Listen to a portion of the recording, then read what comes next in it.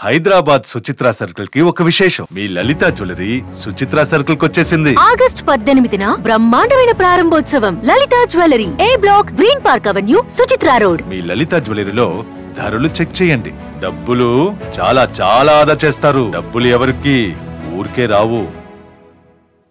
SC ST వర్గీకరణ చేపట్టాలని supreme court ఇచ్చిన తీర్పును నిరసిస్తూ భారత్ బంద్ కొనసాగుతోంది. ఎస్సీ ఎస్టీ వర్గీకరణ అంశంపై ఇటీవల సుప్రీంకోర్టు ఇచ్చిన తీర్పునకు నిరసిస్తూ ద రిజర్వేషన్ బచావో సంఘర్ష సమితి భారత్ బంద్ పిలుపునివ్వడంతో దేశవ్యాప్తంగా ఆందోళనలు కొనసాగుతున్నాయి. పలు ఎస్సీ ఎస్టీ సంఘాలు బీఎస్పీ నేతలు ఆందోళనలో పాల్గొంటున్నారు.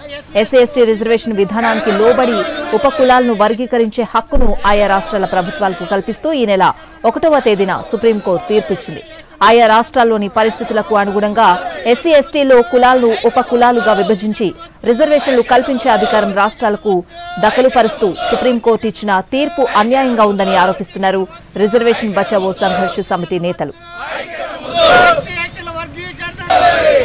ఎస్సీ ఎస్టీ వర్గీకరణపై సర్వోన్నత న్యాయస్థానం తీర్పును నిరసిస్తూ పలు రాష్ట్రాల్లో ర్యాలీలు చేస్తున్నారు.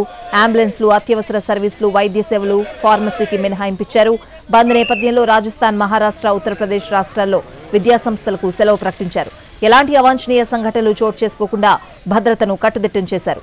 తూర్పుగోదావరి జిల్లా రాజమండ్రిలో ఎస్సీ వర్గీకరణ వ్యతిరేక పోరాట సమితి ఆందోళనకు దిగింది. ఆర్టీసీ బస్సులను అడ్డుకున్నారు నిరసనకారులు. కేంద్ర రాష్ట్ర ప్రభుత్వాలకు వ్యతిరేకంగా నినాదాలు చేశారు. భారత్ బంద్ సందర్భంగా మాజీ ఎంపీ హర్ష్ కుమార్ నాయకత్వంలో ధర్నా చేపట్టింది. ఎస్సీ వర్గీకరణ వ్యతిరేక పోరాట సమితి